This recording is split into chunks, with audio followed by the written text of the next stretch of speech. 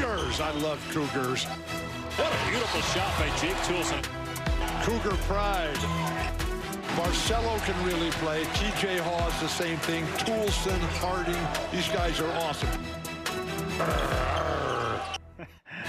Top Five Tuesday, Yeah. honoring the great Bill, Bill. Walton. Jarom's even got the jersey on. The rare okay to wear red day.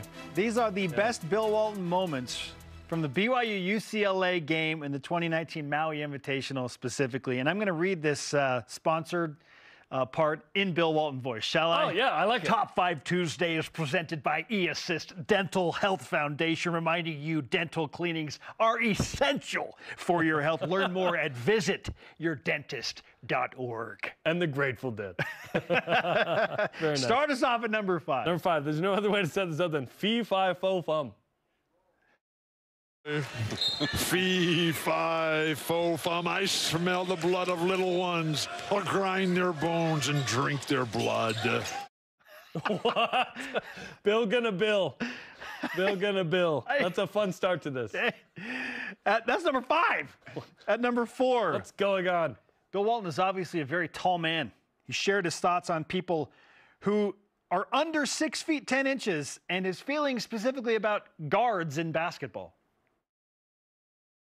Everybody under 6'10 looks exactly the same to me. Guards. Feed the post. Inbound the ball.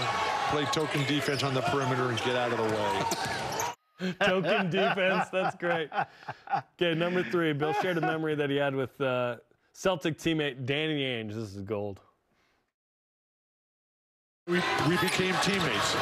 And one day, he was messing with me in practice because I was struggling physically and I was having trouble getting up and down the court.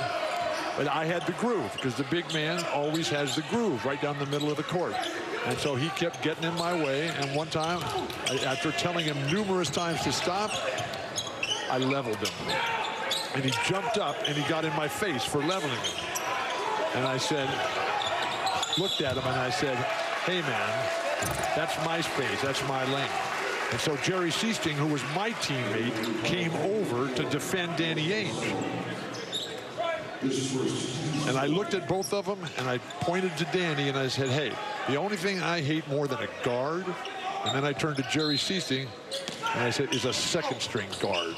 And then I, and then I walked away and said, let's play ball. That's great.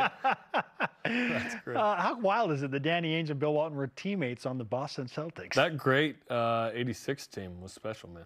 He was part of that. Bill Walton was the sixth man of the year. Oh, he's a man that uh, knows a lot about history and player lineage, but he didn't have a question specifically about Jake Toolson's family history.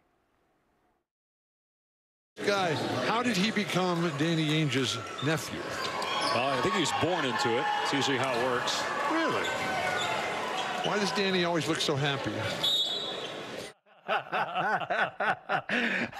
I love Dave Pasch's role in all of this. I know. Like, Dave, Dave's a straight man. Dave Pash is Dave's- is awesome. Yep, that's great. And at number one, how could it be anything other than Bill's perfect Cougar Grill? As well, Okay, so. the Cougars. I love Cougars here in Maui. Arr, arr. Elders have come to fight today. Arr. Cougars clawing, proud, growling. Arr, arr. Go Cougs. Long live Bill Walton, man. Ah, we're going to miss him. Oh, has there ever been a greater broadcaster of BYU athletics than Bill Walton? First time I said anything to him, he came in at the Mercer NIT game in like, what was it, 2013, Yeah. 14. said, Bill, great to have you here. And he goes, great to be here. yeah, oh, yeah. Just Yeah. super excited and happy. Yeah, it's great, man. Ah, a legend for sure. We're, we're certainly going to miss him.